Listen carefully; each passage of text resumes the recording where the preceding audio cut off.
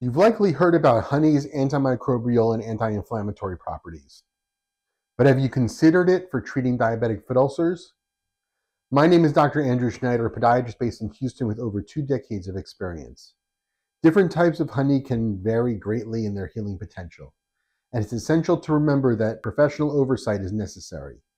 Honey isn't a miracle cure, but could it be used as an effective adjunct treatment? In today's video, we'll focus on the potential of honey as a treatment option for diabetic foot ulcers. Before I do, I wrote a book all about diabetic foot ulcers. I'd like to send you a copy as a gift. Visit www.footulcerbook.com to request your copy. Also, let others know about these videos. Please like, comment, hit the subscribe button, and share on social media. This will help others find the information they need.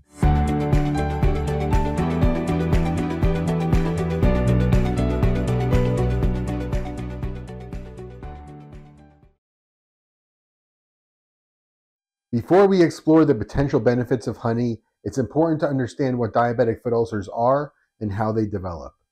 A diabetic foot ulcer is fundamentally an open sore or wound that occurs in approximately 15% of patients with diabetes and is commonly located on the bottom of the foot. These ulcers are a significant health concern because they can lead to severe complications if left untreated. Despite their potential dangers, diabetic foot ulcers aren't always immediately noticeable due to neuropathy that often accompanies diabetes, which can dull your sense of pain. You might not notice that you've developed an ulcer until you visually inspect your feet and discover the open wound. These ulcers result from the breakdown of skin and underlying tissues.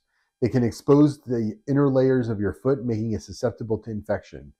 In severe cases, ulcers can penetrate to the bone. They're classified by their depth, the presence of infection, and the amount of tissue damage. Treatment typically involves cleaning and dressing the wound, maintaining blood glucose levels, and sometimes surgery. It's important to get medical attention promptly if you suspect a diabetic foot ulcer, as early treatment can prevent serious complications.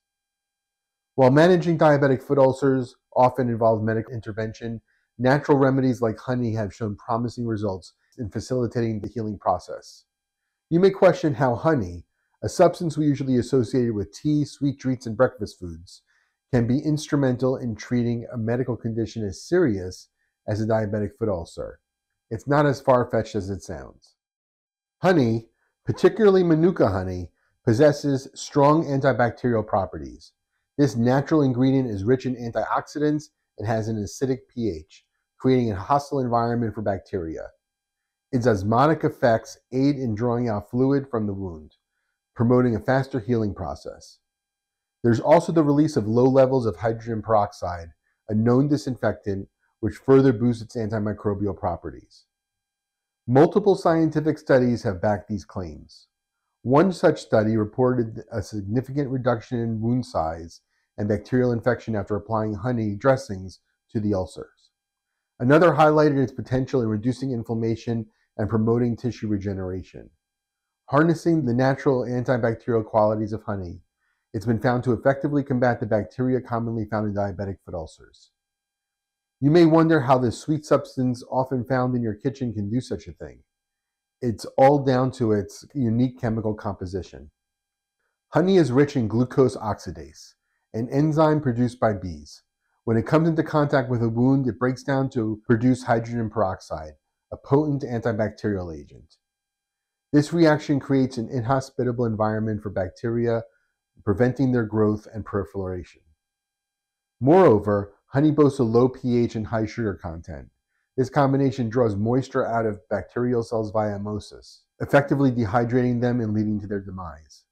The high sugar content also impedes bacterial growth by making the environment too hypoosmolar for them to survive.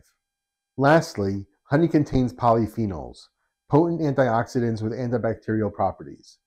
These compounds can inhibit the activity of certain bacteria, including Staph aureus and Pseudomonas aeruginosa, both culprits in diabetic foot ulcers. Diving deeper into the properties of honey, it's clear that the role of promoting wound healing goes beyond its impressive antibacterial qualities. Honey, with its high viscosity, forms a protective barrier that prevents infection and locks in moisture, therefore fostering an ideal environment for healing. This moist environment not only promotes granulation, but also assists the migration of epithelial cells. The acidity of honey is another significant factor. With a pH typically between 3.2 and 4.5, honey creates an environment that's unfavorable for many bacteria, reducing infection risk. Moreover, honey's acidity helps to release oxygen from hemoglobin, enhancing the oxygenation of the wound and promoting healing.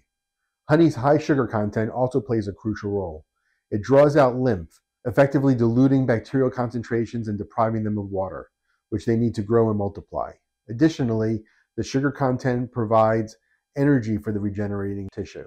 Lastly, honey has an anti inflammatory action which reduces swelling and pain, and its antioxidant properties help to scavenge harmful free radicals. In this way, honey's multifaceted properties combine to promote wound healing in a uniquely effective way. In light of numerous studies, it's clear that honey possesses significant healing properties, particularly when it comes to the treatment of ulcers. You'll find that various types of honey, including Manuka honey, have been investigated for their therapeutic benefit. One study, published by the Journal of Wound Care, found that honey's high sugar content helped promote an osmotic effect, drawing out fluid from the wound and inhibiting bacterial growth. This assists in creating a moist wound environment essential for optimal healing. Additionally, the honey's low pH levels boost the release of oxygen from hemoglobin, encouraging the growth of new tissue.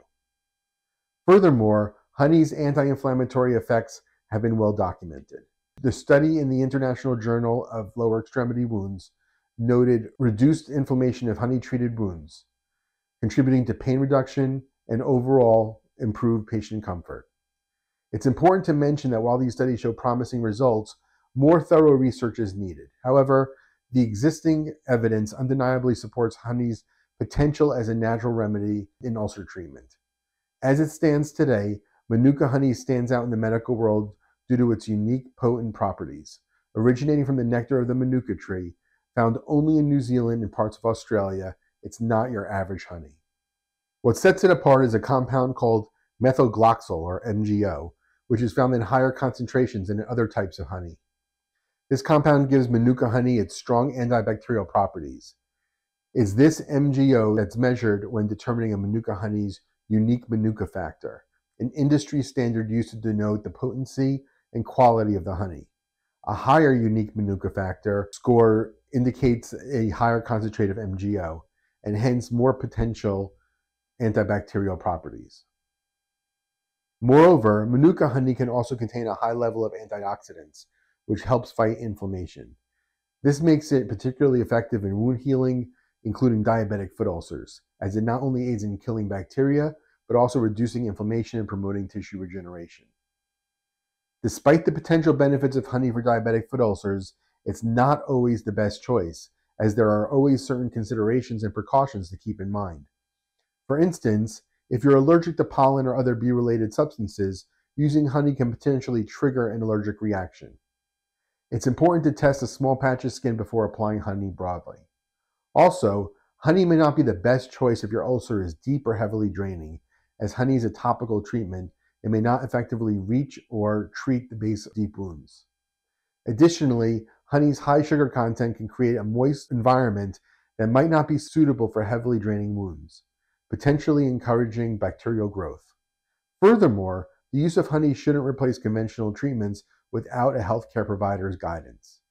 While honey has antimicrobial properties and can assist in wound healing, it's not a one size fits all solution and should not be relied on as a sole treatment. Finally, not all honey, even Manuka honey, is created equal. It's essential you use medical grade honey to ensure there are no other additives that will adversely affect the healing of your foot ulcer. Raw, unpasteurized honey may contain harmful bacteria like botulism, especially risky for those with a compromised immune system, a common trait in diabetics.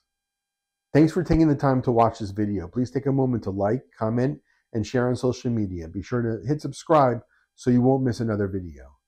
Be sure to request my free book about diabetic foot ulcers. You can order your copy at www.footulcerbook.com. The link is in the description.